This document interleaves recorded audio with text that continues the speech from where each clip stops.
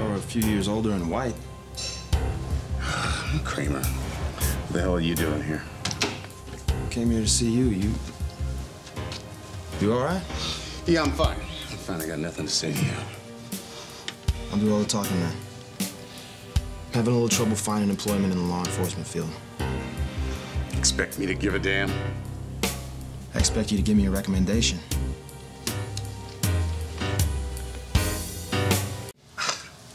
You know, there must be something wrong with the acoustics in here. I could have sworn I heard you ask me for a recommendation. Your hearing's 2020. Well, I hope yours is. Get the hell out of here. Wow, I really misread you. Oh. You must have thought I was some moron who'd forget you slept with his wife. No, I thought you'd put aside our differences and do what was right. What the hell would you know about doing what's right? You know, I'm a good cop, Abe, and you know it. I busted my butt on the job. I cracked cases that everybody else had given up on. You know, I think I spent more nights here than I did in my own house, my own bed. I doubt that. You know what? You don't like me, and I get that, but this isn't about you and me or me and Lexie. This is about my work as a police officer. And you can't deny I upheld the law as well as any cop you ever had. You broke the law. Lexie had a restraining order against you, and that's real. I should have thrown your butt in jail. Yeah, but you didn't because you know I'm not the only one responsible for what happened. Get the hell out of here. I'm asking you for a professional recommendation, Abe, an honest account of my work on the Salem PD, okay? Throw in a PS if it makes you feel any better. Don't trust this guy with your wife, but give me my due. If I gave you what you got coming, we'd both regret it. Hey, we were friends once, Abe. I looked up to you.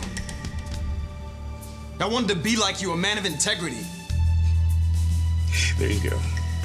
Throwing around words like integrity, like it meant something to you. Right, it did to you, and it still does. Prove it, Abe. Do the right thing. Give me a recommendation. It's only fair. Fair.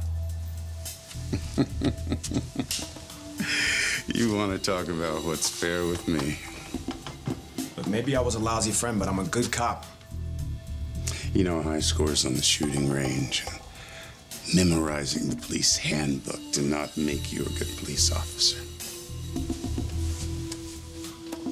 What matters? What's in here? And you got nothing. You're empty. You don't give a damn about anybody but yourself, not your fellow officers. That's not this true. department. That's not you true. slept with your superior's wife. And you didn't give a damn how it affected the people you work with that destroyed morale. It was a slap in the face of every No, officer it on was a slap force. in the face to you. That's why. No, no, you it. did it. You did it, pal. You blew up your own personal life. Problem with that. Now the fallout is everywhere. Get the hell out of here. I got work to do.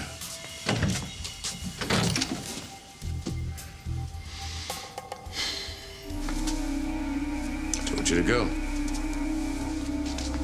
You know, I was hoping we could do this on the DL, but uh, if you're gonna get in my face, I'm gonna have to get in yours. It's Commissioner Carver. I want some officers in. I got a call from the state's attorney. He had a few questions about how the department's being run, specifically the kind of job you're doing.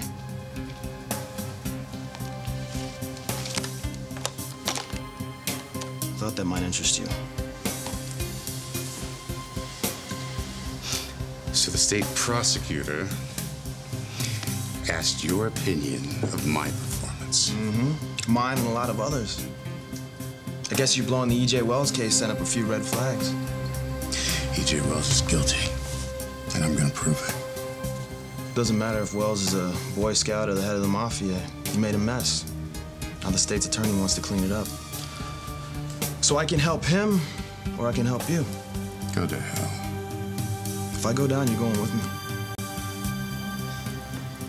You know, you're a bitter ex police officer with an axe to grind. Nobody is going to listen to what you have to say.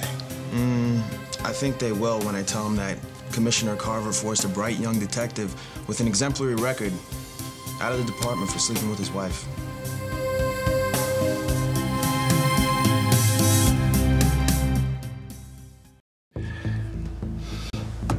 So what do you say, Abe? You give me a good rec, I give you one. That's blackmail. Mm, I call it an even trade. You know, you're a lousy police officer. And a lousy excuse for a human being. yeah, being. I know. You made that pretty clear, but uh let's not waste any more time. Why don't you just give me what I want and you get what you want? What I want is to never see your face again. Offer's about to expire, Ed.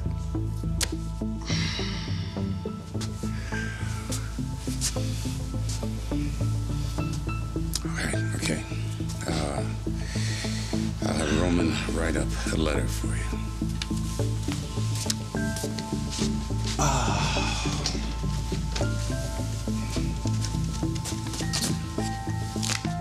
Pick it up tomorrow. I'll mail it. Get the hell out of here.